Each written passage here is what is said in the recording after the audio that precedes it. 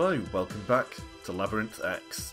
Let's go from checkpoint number two, since we finally actually reached that last time. Okay, it's the portcullis and water room.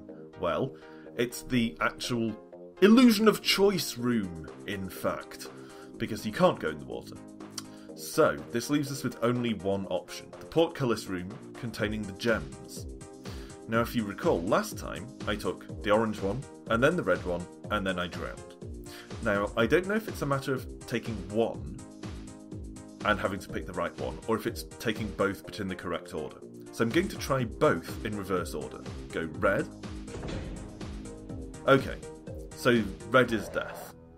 Fine, let's skip all that humorous animation. Go from checkpoint 2 again. Alright then.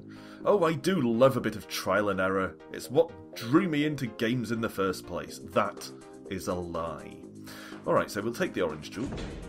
Leave the room. Okay, some fish flopping forlornly on the mud. Let's crawl through that hole. This looks a lot like the inside of the giant head's forehead. Uh, uh, I hope we're not going to find an enormous brain in here. I suppose technically we're still inside the giant head. Alright, do we want to go left or straight on? Neither one looks particularly inviting, so let's go left. Press red eye, press blue eye, or jump. Trial and error again, because there's no pattern to this colour stuff here.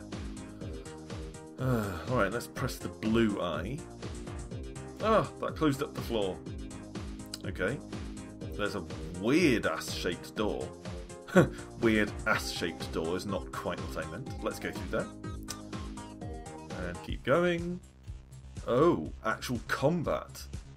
High kick, punch, or low kick. Well, they don't look like they have balls, so I'm not convinced by a low kick. They are hunchbacks, though, and hunchbacks might be painful, so let's try and kick them on their hunchbacks with a high kick. Here we go. That worked. Apparently, it caused them to explode. I don't want to know what was in those hunches. Alright, let's go straight on into the disconcertingly narrowing room. Suits of armour and another weird passage. Okay. We're just going in circles since we keep turning left. Bats. How do you fight bats? I mean, logically, it would seem to be high kick since they're airborne. But logic doesn't appear that much in Team Shuriken games, and we've already had high kick, so I feel like it's probably not going to be the same solution. Let's try a low kick. They might be low flying bats or something.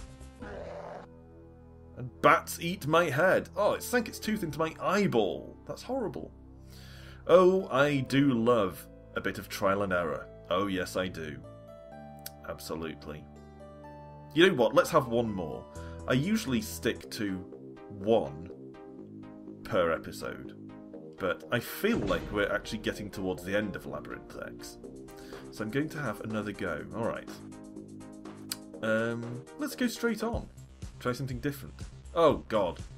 A spider eating a person, or tickling a person. Alright, let's try punching it. No.